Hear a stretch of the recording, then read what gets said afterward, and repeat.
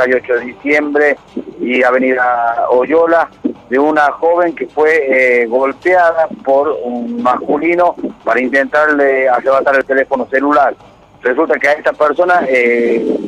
jóvenes que iban pasando por el lugar, al percatarse de que estaban cometiendo un ilícito y eh, golpeando a una mujer,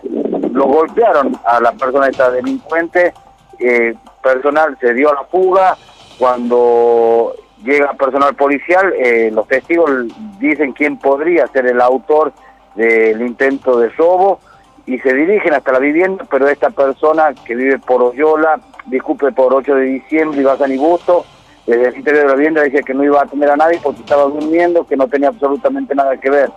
Se esperaba la orden judicial para poder ingresar a la vivienda, pero esta persona llegó solo a la sala del San Vicente por eh, diciendo que lo habían patoteado para todas leer. Resulta que era esa persona quien habría intentado robar, por eso lo habían golpeado unos ocasionales transeúntes que estaban viendo la situación del intento de robo a una mujer y la, y la golpiza que le estaba dando Miren, Mire, los mayores hechos de robo que hubo hoy de arrebatos eh, a la salida de la chaya fue ese sector, Franco. Tuvieron que trabajar fuertemente los diferentes peatonales del Alta Rioja, San Vicente,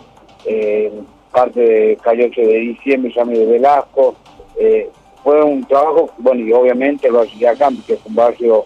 bastante conflictivo, y tuvieron que eh, centrarse el personal policial hasta las 8.30 de la mañana en el despeje de este sector, ya que eh, fueron el lugar donde más asesinato hubo.